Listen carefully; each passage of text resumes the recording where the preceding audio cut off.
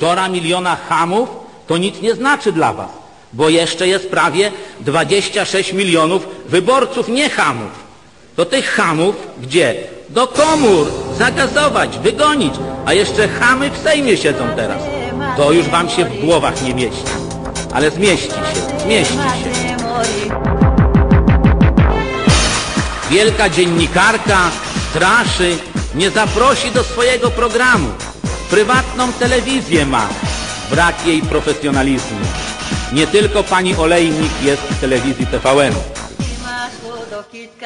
Nie wzruszyło wami to, że to nie ja namawiam do mordu, do metod hitlerowskich, tylko jeden z dziennikarzy, pan Żakowski.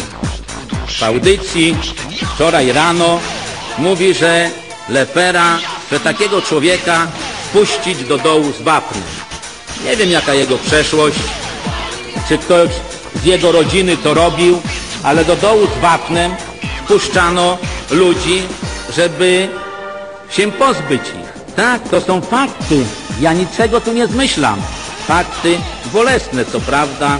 Ale są jak do mnie ta informacja dotarła e, o jego e, tragicznej śmierci, to nie pomyślałem o Andrzeju Leperze, tylko pomyślałem o Andrzeju Czumie. Jak się czuje Andrzej Czuma, e, który zaproponował raport zaprzeczający istnieniu nacisków. A tu odchodzi człowiek, który był ofiarą tych nacisków, brutalnej prowokacji, zmontowanej od początku do końca, właśnie z wymuszaniem na funkcjonariuszach publicznych różnych działań, no delikatnie mówiąc na pograniczu prawa, zastanawiałem się, jak dziś, jak teraz czuje się autor tej propozycji, kiedy jest ofiara śmiertelna, bo załamanie się kariery Andrzeja Lepera, jego pogrążenie jest w dużej mierze związane e, z aferą w Ministerstwie Rolnictwa, zmontowaną przez CBA. Jak pan myśli, co, ten, co może poseł Czuma czuć teraz? Nie wzruszyło wami to, że to nie ja namawiam do mordu, do metod hitlerowskich, tylko jeden z dziennikarzy, pan Żakowski. W audycji wczoraj rano mówi, że Lepera, że takiego człowieka puścić do dołu z wapnem. Nie wiem jaka jego przeszłość, czy ktoś z jego rodziny to robił, ale do dołu z wapnem puszczano ludzi, żeby się pozbyć ich. Tak, to są fakty. Ja niczego tu nie zmyślam. Fakty bolesne, co prawda, ale są to fakty. Wie pan, trzeba być posłem czumą. Ja wolałbym nie być w jego skórze, dlatego że. Ale też nie jestem pewien, czy gdybym był w jego skórze, to, to, to, to doszedłbym do podobnych wniosków, jakie są zawarte w tym raporcie. E, Przypuszczam, że nie.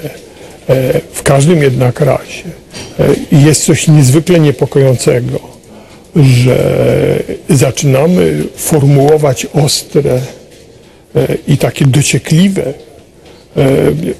postępowania i wnioski z tych postępowań dopiero wtedy, kiedy jest śmierć. Tak? I z całą pewnością bardzo mnie zaniepokoiło.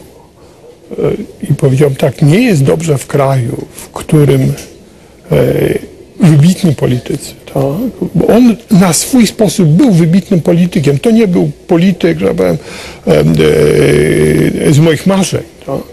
E, ale Wyrażał- niez- niewątpliwie wyrażał interesy zupełnie autentyczne i on był autentyczny. Nie było e, e, zakłamania pomiędzy interesami tych, których on próbował reprezentować i tym, co on mówił bardzo długo w Bo, każdym że razie. stu, przestudiowanie 800 kilkudziesięciu tomów zgromadzonych dokumentów, zarówno z prokuratur, sądów, urzędów, jak i z przesłuchania przez komisję świadków na posiedzeniach jawnych czy niejawnych, że w tych tomach, w tych materiałach, bo przecież na nich musieliśmy pracować, a nie na plotach i nie na gazetach. Otóż w tych dokumentach nie ma dowodów na to, aby czy to premier, czy ministrowie wywierali wpływ, nielegalny nacisk na swoich pod, podwładnych we wszystkich tych sprawach, które są w uchwale Sejmu z 11 stycznia. Rozumie pani, dlatego był taki rezonans, bo e, są dziennikarze i są ludzie w ogóle, którzy przyjęli, przywiązali się do jakiejś tezy z góry przyjętej. Jak im nie podoba się to, co, jaka jest rzeczywistość, to uważają, że tym gorzej dla rzeczywistości. Przypuszczalnie pani zetknęła się z takimi ludźmi, bo ja się zetknąłem. Wmawiamy im i mówimy o nich fałszywe świadectwo, bo jeżeli w sprawie, nam przykład, Sawickiej, zbadałem tę sprawę bardzo dokładnie, ani jednego, ani jednej nieprawidłowości. Sawicka już na jesieni 2006, nie znając jeszcze agenta Tomka, już szukała kogoś, który mógł, kto byłby kupił za, korup, za łapówkę tą ziemię. Są dowody bardzo silne. Żadnego cienia nacisków. Y, Inna sprawa, na przykład y, badanie, czy Zbigniew Ziobro jako minister sprawiedliwości wywierał naciski na prokuraturę. A jakie były dowody na dokończę, to, że- Dokończę. Na prokuraturę, aby yy, aby dopadła lekarzy i ukarała ich za to, że yy, jego ojciec umarł w, w szpitalu. Nie ma żadnego dowodu, żeby Zbigniew Ziobro to robił. Wziął udział w tych czynnościach, ale dopiero wtedy, kiedy przestał być ministrem. Na to są dowody zeznań jego przyjaciół Lepera, zeznań wiceministra Jabłońskiego, że Leper poświęcał, jak powiedział Jabłoński, 1500% więcej uwagi odrolnieniu działki mrągowej niż wszystkim innym sprawom. To jest bardzo mocny tekst. I, I jeszcze kilka innych zeznań. Andrzej Kryszyński już na jesieni 2006 szukał kogoś, kto chciałby dać łapówkę i odrolnić sobie jakąś ziemię. Kryszyński powiedział to na podstawie e, kontaktu z Piotrem Rybą. Piotr Ryba miał wejście do gabinetu Lepera każdym momencie. Absolutnie jest to udowodnione. Nie pani, niech pani się nie przywiązuje do tego, co w gazetach zostało utworzone jako rzeczywistość. To nie jest rzeczywistość. Rzeczywistość jest w dowodach. I pan Jacek Żakowski, ale też widzę pani, tak się przywiązaliście do swojej wizji afery gruntowej, że kiedy ta wizja nie zgadza się z rzeczywistością, to tym gorzej dla rzeczywistości. Kryszyński i Ryba zaprowadzili policję w kierunku Lepera. Nie ma na to żadnych wątpliwości. Kryszyński popełnił przestępstwo już na jesieni 2006, szukając kogoś, kto za łapówkę chce odrolnienia. To już jest przestępstwo. To jest tak zwane przestępstwo formalne. Nie chcę pani tłumaczyć i, i słuchaczom, bo to byłoby długie gada, długa gadanina. Ktoś, kto mówi, powołując się na realne wpływy, a on się powoływał na realne wpływy, bo Piotr Ryba to był realny, codzienny współpracownik Lepera, jego protegowany, jego ulubiony współpracownik. Nie ma no to żadnych Doszedłem do wniosku, że ta sytuacja jest tak niesamowita, że nikt mi nie uwierzy, jak ja tego nie będę nagrywał. Oczekiwał jakiejś pomocy od pana? Tak. E, oczekiwał kontaktu z osobami, które zapewnią bezpieczeństwo. E, Naprawdę mówiąc, niewiele mogłem zrobić w tej sprawie, a sprawa się jeszcze o tyle pogorszyła, że proszę pamiętać, że dwa tygodnie później mamy sprawę Ryszarda C., który próbuje zabić Jarosława Kaczyńskiego, a nie mogąc tego zrobić, zabija e, kilku członków, czy jednego członka PiSu i jednego rani. E, I myślę, że wtedy już Andrzej Leper przestraszył się nie na żarty, zrozumiał, że w Polsce sprawy idą Ale Andrzej Leper bał się szaleńców, jak ten Ryszard C. nie sądzę, żeby się osób? szaleńców. Zresztą, jak wiemy, Ryszard szaleńcem nie był. Był członkiem Platformy Obywatelskiej i jest zdrowy psychicznie. A kogo się bał Andrzej Leper?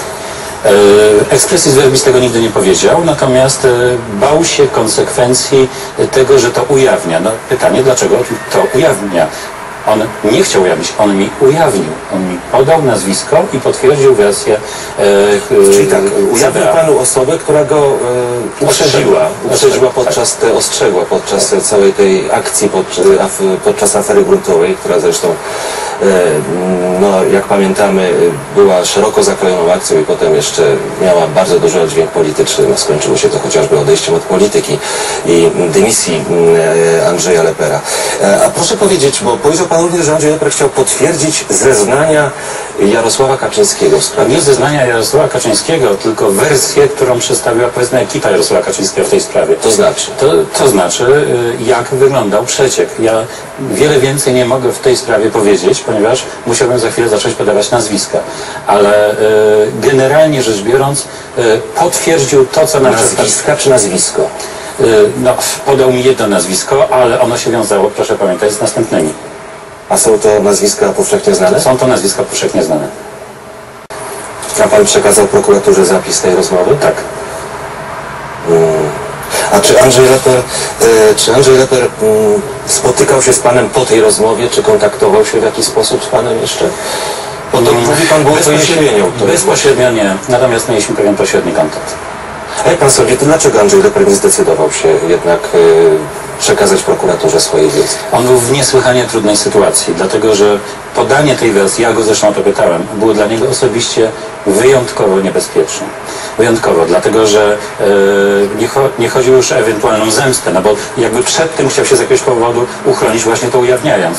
Ale przecież on musiał siebie oskarżyć o udział w aferze przeciekowej, gruntowej, o fałszywe zeznania. E, naprawdę był w pułapce i to potężnej pułapce. Czyli Powie, co tym, że był przeciek i było źródło przecieku, jakby zeznawał również przeciwko sobie. Tak? Tego się To ewidentne zeznanie. Ja go zresztą o to pytałem, że mój szok polegał na tym, że, że ktoś ujawniając jak było i potwierdzając wersję CBA czy Jarosława Kaczyńskiego, ogólnie rzecz biorąc, e, przecież on, on sam siebie oskarża. I on był tego świadomy. Ja mu zadałem parę razy to pytanie. On był tego absolutnie świadomy. To czego on się bardziej bał? Bał, bał się bardziej Bał się że sam swoje siebie czy osobiste. tego, że ktoś będzie mu zagrażał jego życiu? E, moim zdaniem najbardziej się bało o, o życie swoje i swojej rodziny, bo tak to zostało ujęte w pakiecie, kiedy się Co to za nazwisko, że człowiek się może obawiać o swoje życie?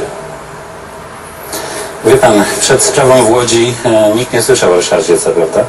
E, I nikt sobie nie wyobraził, że można wejść po prostu do biura cudzej partii i, i, i, i zabić kogoś, czy chcieć zabić No ale to osób. brutalna polityka, ludzie różnie ją odbierają, wie pan. No, A jak w grę sprawa- jeszcze wchodzą wielkie pieniądze, a wchodzą, w tej sprawie wchodzą ogromne pieniądze, dużo większe niż w sprawie Czyli była afera gruntowa.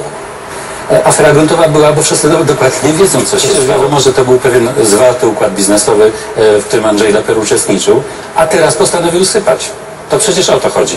I on by to wszystko wysadził w powietrze, ratując siebie, czy, czy, czy z jakichś innych powodów nie bliżej. Mówi pan, że teraz postanowił sypać. To znaczy co, był jakiś sygnał, że jednak się zdecyduje pójść teraz do prokuratury? On już idąc do mnie sypał. Ale to już była jesień. To była jesień, to bardzo dawno temu. Dlaczego to się stało teraz? Jeżeli, jeżeli rzeczywiście mamy podejrzewać, że to nie była Po pierwsze, ja milczałem. samobójcza. Tak, jeżeli byłbym jedynym rozmówcą, teraz już wiem, że nie byłem jedynym, ale byłby, gdybym był jedynym rozmówcą, no to Andrzej był, Leper był bezpieczny, bo ja milczałem jak grób. Eee, nikt się ani nie mógł w żaden sposób o tym dowiedzieć.